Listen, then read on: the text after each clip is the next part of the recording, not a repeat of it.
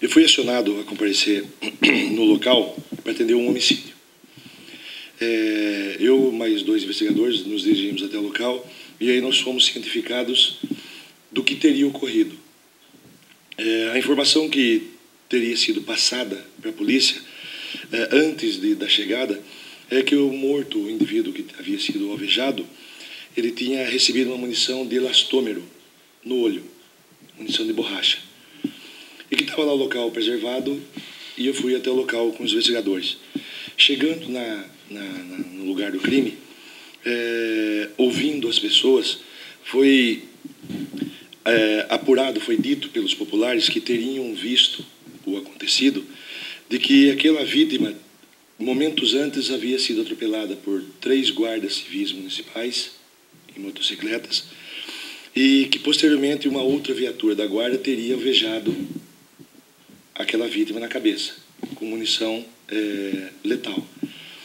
Bom, em decorrência dessa informação, em decorrência do tumulto que estava no local, que a população estava é, revoltada por tudo que, sei lá, teria acontecido, é, o corpo foi removido é, e nós trouxemos as testemunhas que vieram até a delegacia serem ouvidas. E todas elas narraram realmente esse episódio, que teria sido aquela vítima atropelada por três, um dos três guardas é, que estava com uma motocicleta da Guarda Municipal, e depois ela teria sido alvejada na cabeça por outra viatura. E aí nós estamos fazendo a identificação eventual desses guardas municipais que participaram dessa situação. Ouvindo alguns guardas que estavam na ocorrência, eles negam peremptoriamente qualquer tipo de situação desse naipe. Negam, não, não aconteceu, não foi, não foi. Então, em decorrência da dúvida, é, eu lavrei o boletim de ocorrência para fins de instauração de inquérito policial, para se apurar a verdadeira e real história dos fatos. Exatamente com qual finalidade?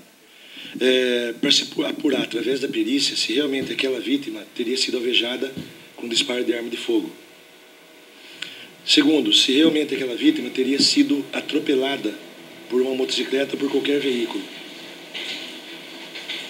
E estamos no aguardo dessas respostas para fins de efetivar uma investigação. E outras mais, lógico, né?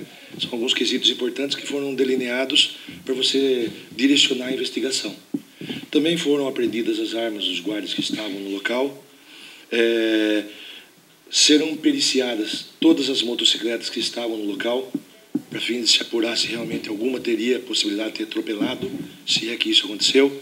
Então, tudo será feito e vai ser feito com a finalidade de se apurar minuciosamente a história real e punir eventualmente quem for o culpado, sem sombra de dúvida. Segundo consta, é, eles foram acionados a comparecer no local a fim de fazer uma desapropriação de uma área verde que estaria sendo invadida uma área de preservação permanente.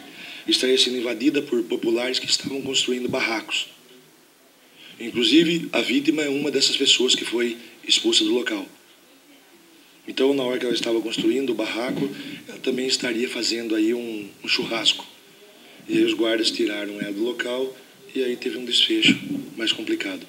Os guardas alegam não ter tocado nessa vítima ou eles dizem que houve alguma resistência?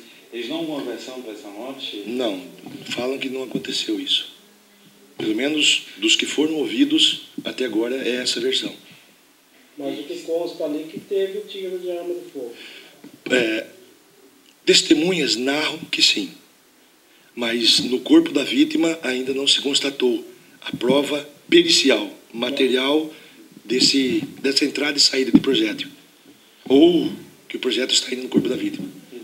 Mas os guardas em algum momento alegam que tenha sido em função da ação da polícia militar é, que esse óbito tenha ocorrido? Não, não, não. Falam simplesmente que não aconteceu. Sim, os que foram ouvidos alegam que não participaram, que não sabem, que isso não aconteceu.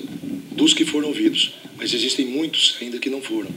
Finalizando a ocorrência, eu estou mandando um ofício para a Guarda Civil Municipal informar todas as viaturas que estiverem no local inclusive encaminhar as fotos de todos os guardas, a fim de que as testemunhas possam, eventualmente, reconhecer quem teria sido o autor do disparo, já que alegam isso.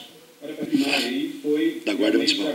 A. Polícia Militar chegou nesta ocasião exatamente para conter os ânimos, para resolver o problema.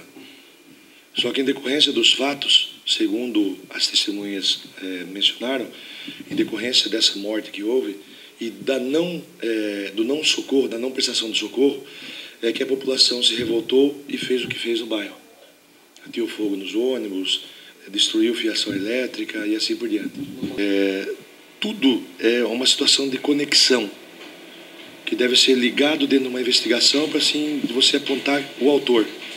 É, se realmente houve um homicídio, é difícil você exigir do homicida que socorra a vítima. Então, será que houve omissão? Tá?